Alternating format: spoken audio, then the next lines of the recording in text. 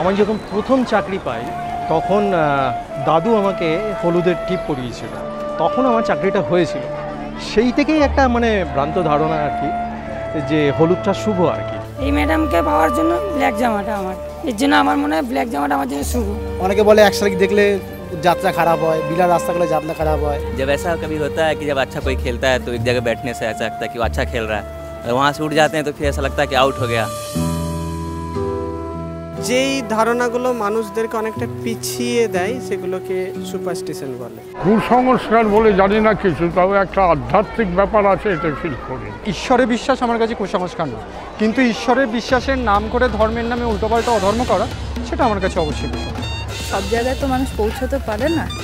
সেই পৌঁছতে না পারার জন্য মানুষ যেটাকে দায়ী করে সেটা হচ্ছে অন্ধবিশ্বাস বা সুপারস্টিশন একবার হয়েছিল যে আমার এক জায়গায় ইন্টারভিউ দেওয়ার ছিল। মানে আমি সেটা ঘর অনলাইনেই ছিল। তো মানে একটা জামা পরে আর কি আমি দিয়েছিলাম। তো ভেবে মানে লাকিলি হয়ে গিয়েছিল। তো সেই থেকে ওই জামাটাকে একটু লাকি ভাবি। কোনো কাজে যাচ্ছি। যেটা সময় মানে মানুষের ভয় একটা কাজ করে যে এটা হলেও হতে পারে। যে অ্যাকচুয়ালি দেখলাম যদি খারাপ হয়ে যায়। এটা আমার মনে হয়। আমি সাদা রঙটা সবসময় পছন্দ করি। আমার সাদা রঙটা খুব ফেভার করে সবসময়। কোনো কাজে বেরোনোর সময় আমার মনে হয় যে আমি সাদা জিনিসটা পরে গেলে আমার কাজটা সাকসেসফুল হবে। সায়েন্স যেটা বলছে সেটাকে করা উচিত আর মনটা কি? নাস্তিক বা আস্তিক সেটা আমার আপনার মানুষের তার মনের ওপর নির্ভর করে। গ্রিনটা আমার খুব পছন্দ। তো গ্রিন নিয়ে এরম কোনো করে করে কোনো ভালো কোনো এতে যাচ্ছি। তো সেরকম মনে হয় যে গ্রিনটা পরে আজকে লাকি লাকি মনে হচ্ছে। আমি এইসব সিরিয়াসলি বলতে গেলে মানি না। আমি এক চোখ দেখলে খারাপ যায় দিন। মানুষ মারা গেলে নাকি গঙ্গা স্নান করতে হয় বাড়ি এসে স্নান করতে হয় এগুলোকে আমি বিশ্বাস করি অনেকে আছে ট্রেনের মধ্যে উল্টো সাইডে বসতে চায় না তিন নম্বরে বসতে চায় না আবার কারও বাঁকাতে হাত লাগল কেন বাঁকাতে হাত লাগল আমার ডান কাঁধ ধরে দিন এটা একটা শুভ আর কি বলে আমার এক কাঁধে হাত দেওয়া হয়েছে তো দু কাঁধে হাত দেওয়া হোক।